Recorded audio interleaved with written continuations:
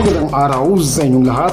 Narito na si Calendar TV para magatid ng isang panibagong latest update sa pambato ng Philippines sa si Miss Rae sa Miss Universe 2023. Dahil sa high tech na schedule ngayon ang final candidate ng Miss Universe sa kanilang kaliwat kanang rehearsal sa nalalapit ng final ng Miss Universe, Michelle D halos nakalimutan na umano nitong kumain dahil sa kanilang high tech na schedule. Narito ang ilan sa mga larawan ni Michelle D kung paano ito pumila sa pagkuha ng food Nagpapasalamat pa rin si Michelle Reyes sa walang sawang suporta ng ating mga kababayan dahil number one pa rin ito ngayon sa final voting para sa final candidate ng Miss Universe at siya pa rin ang nangunguna halos tinalo na nito ang ilan sa mga malalakas ng candidate para sa final ng Miss Universe.